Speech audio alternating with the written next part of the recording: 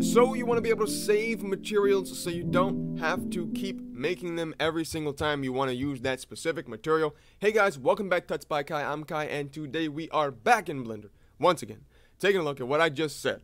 We're going to go ahead and do a couple of things. I have a material here as you can see. It's just a regular Principled BSDF with a noise texture into the metallic. Nothing too special, nothing too fancy. So that is uh, pretty much it right there. Now, this uh, works. We have to go ahead and hit save. So we have to save our project, go to file, save, and then we'll just save it. Um, I've already done that. It's saved as material test. Um, and we also have to go ahead and hit B to box select uh, every single node that is not the material output node. and then we're going to go ahead and hit Control G to group them together. Now you can see we have this uh, little group input here, which is nice. So uh, we can go ahead and just go out of this by hitting this little button. And then we can now uh, plug this group into the material output. So our material still looks the same, um, even though we don't have all those nodes. If you want to go back into that, um, if you want to go back into that group, you can just go ahead and hit the little button right there on the side, on the top.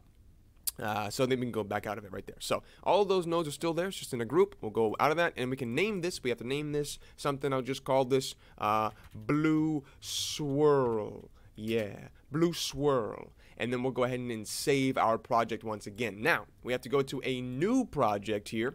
Uh, just go to general. And now if we go to file, append, we can find our material test scene, which is this guy right here. And if we click on the scene that we just saved with the material in it, you can go down to node tree. And this usually won't be here if you haven't made a node group. So that's how you know you did it right. If you see this folder, you're pretty much good. Then you click it and you can see blue swirl. Now you can go ahead and hit append from library and now you, you see it hasn't done anything. It hasn't added the material to our cube, but that's because it's down here in the material tab. We can go back to this and we, if, we, if we go to the shader editor here, and if we head up to the uh, the add button up here, you can see we can scroll on down to group.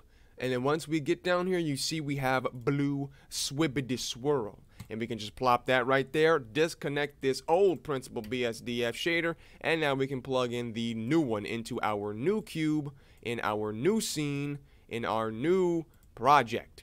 And now there we have the blue swirl uh, material right there and we didn't have to recreate this material. So there we go. Somebody asked me about this in the comment section. Hope it helped a lot. Uh, it definitely saves time if you want to reuse uh, materials. There you go. I'll see you guys in the next one but until then bye bye